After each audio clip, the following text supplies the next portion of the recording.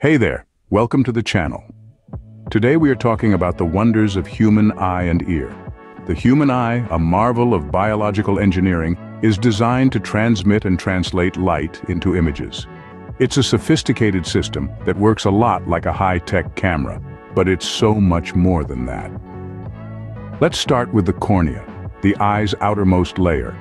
It's the clear front surface of the eye that acts like a camera lens, focusing incoming light. Next we have the pupil, a black circular opening in the center of the iris, the colored part of the eye. It's like the aperture of a camera, adjusting in size to control the amount of light that enters the eye. Beyond the pupil is the lens, a transparent structure that changes shape to focus light onto the retina, much like the lens of a camera focuses light onto the film. This process of bending light to focus on the retina is known as refraction. And then, there's the retina, the innermost layer of the eye. It's like the film in a camera. It's a light-sensitive tissue lining the back of the eye, where images are formed.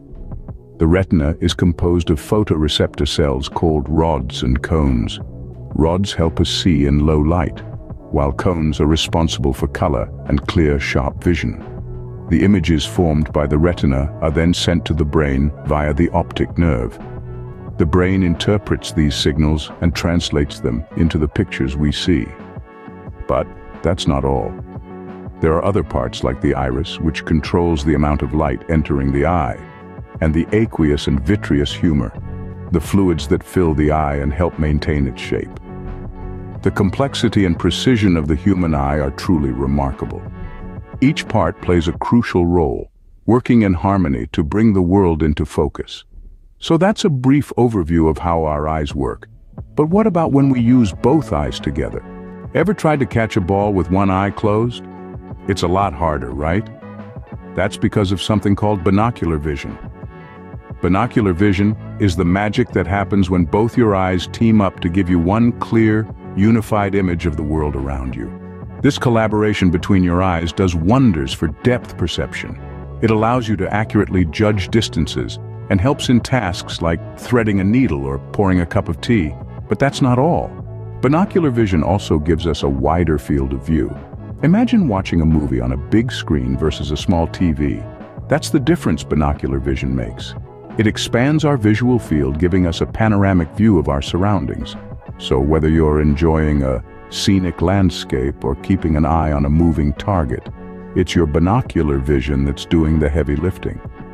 So binocular vision gives us a better understanding of our environment. But what happens when our eyes need to adjust? Our eyes aren't just static cameras, they constantly adjust to help us see clearly. Now let's delve into the fascinating world of eye adjustments. We'll explore two key mechanisms, accommodation and the pupillary mechanism. Accommodation is like your eye's autofocus system.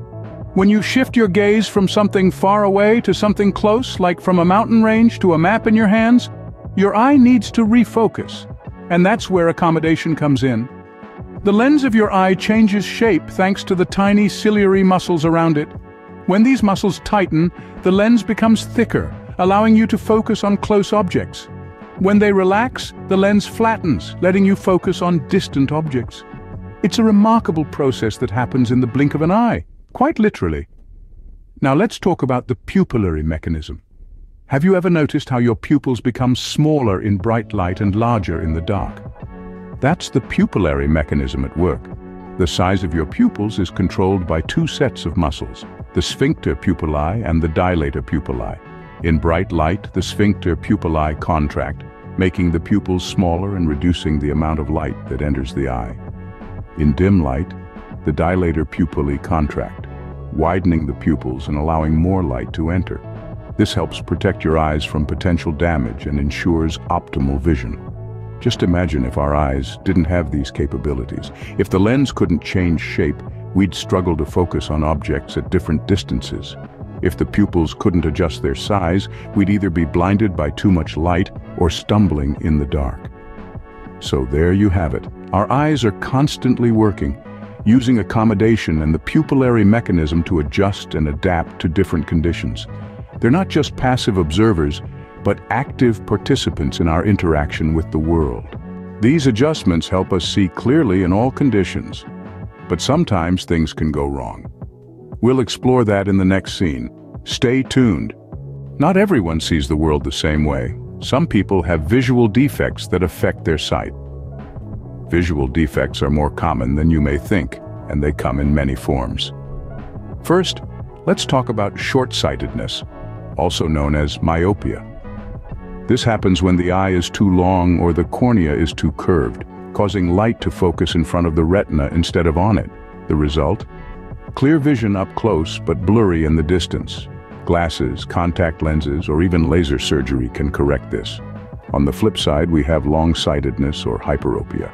Here, the eye is too short or the cornea is not curved enough, causing light to focus behind the retina.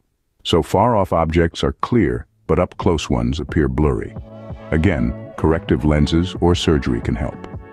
Next is astigmatism, where the cornea or lens is irregularly shaped, causing light to focus unevenly on the retina. This results in distorted or blurred vision at any distance. Corrective lenses or refractive surgery can rectify it. Lastly, we have cataracts, which occur when the eye's natural lens becomes cloudy, often due to aging. This can cause blurry vision, difficulty with glare, and faded colors. Treatment?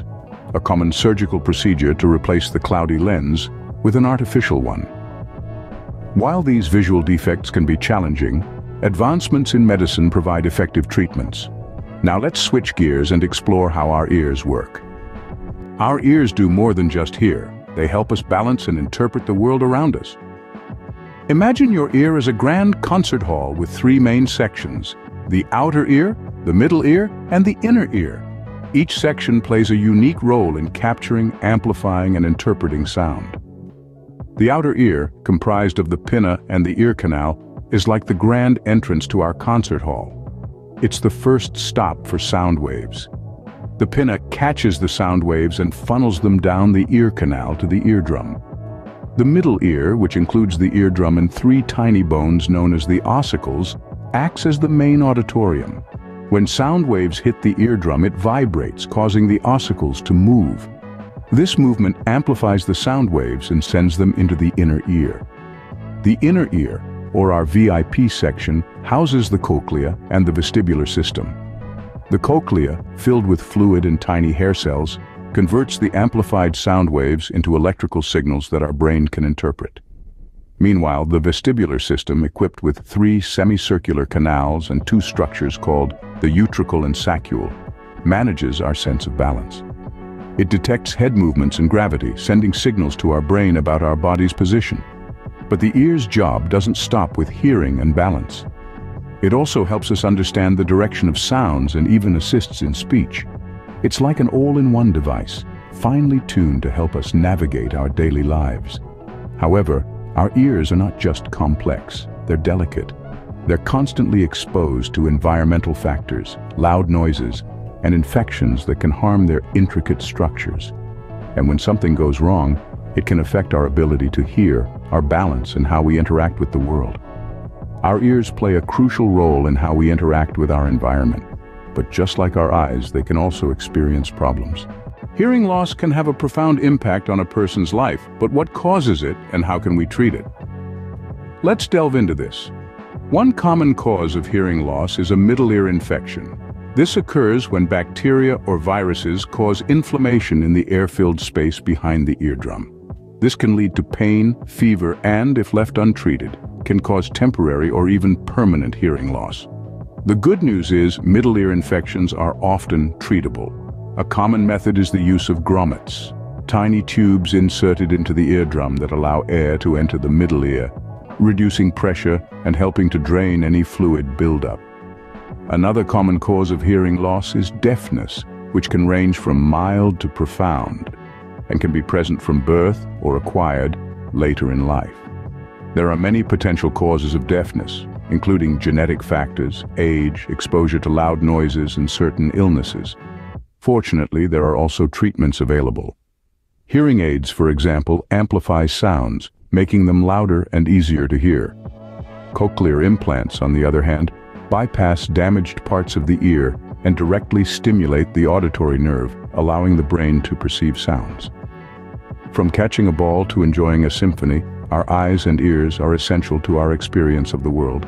They are complex, delicate, but incredibly capable organs.